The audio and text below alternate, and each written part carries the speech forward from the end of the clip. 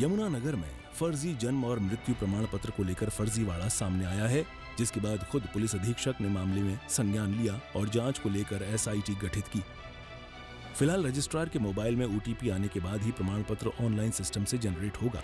जैसे ही किसी का आवेदन आएगा तो रिकॉर्ड खंगाला जाएगा और प्रमाण पत्र जनरेट होने से पहले रजिस्ट्रार के मोबाइल पर ओटीपी जाएगा, जिसके बाद ये ओटीपी सिस्टम में डाला जाएगा, फिर जन्म व मृत्यु प्रमाण पत्र जारी किया जाएगा। जहाँ जाके बढ़ेगी तो है आंकड़ा बढ़ जाए।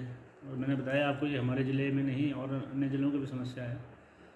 पोर्टल हैक हो जाते हैं हैकर्स होते हैं, जो आई हैकर्स वो हैक कर लेते हैं। तो सुरक्षा के लिए एक ओ टी पी का सिस्टम बनाया गया है। बाकी पुलिस की एस आई टी बन गई है डी एस पी लेवल के ऑफिसर्स की इंक्वायरी कर रहे हैं। तो जल्दी दूध का दूध तक पानी का पानी।